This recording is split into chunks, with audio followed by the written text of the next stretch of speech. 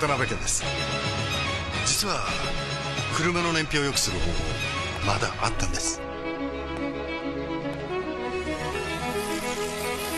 キーワードは発電。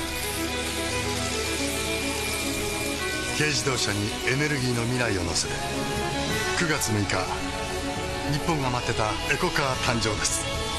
それではお楽しみに。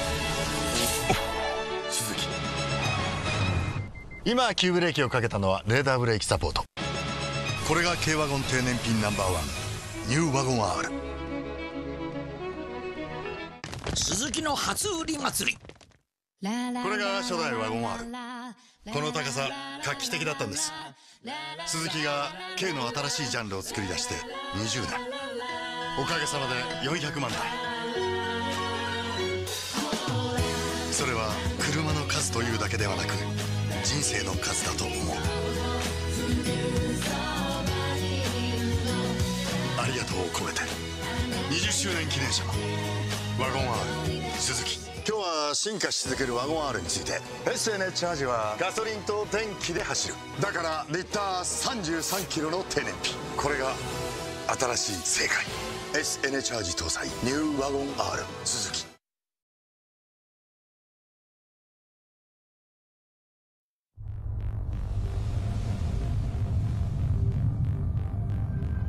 軽自動車は新しいエネルギーを手に入れた。モーターの力で加速時にエンジンをアシスト。鈴木独自のテクノロジーは次のレベル